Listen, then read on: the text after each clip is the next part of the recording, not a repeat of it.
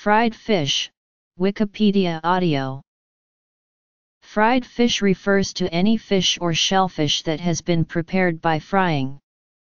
Often, the fish is covered in batter or flour or herbs and spices before being fried and served with a slice of lemon.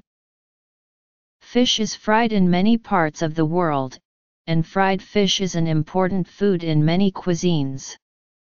For many cultures, fried fish is historically derived from pescado frito, and the traditional fish and chips dish of England which it may have inspired.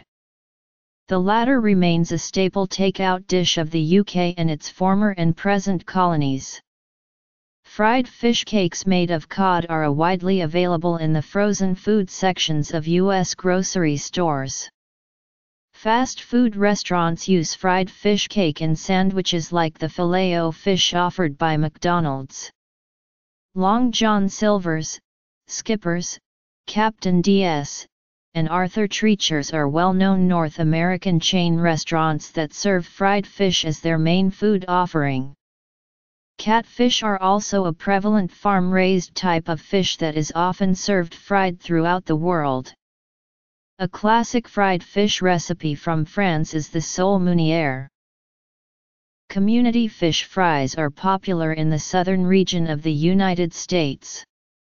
These social gatherings may center around a church, a civic organization or serve as a fundraiser for a club, volunteer fire department, a school, or other organization.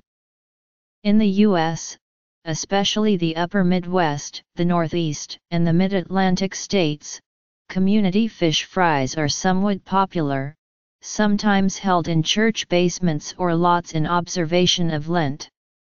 A fish fry is generally informal. A shore lunch is a tradition in the northern US and Canada, where outdoor enthusiasts cook their catch on the shores of the ocean, or lake where the fish was caught. Fish fries. Fried fish dishes. Notes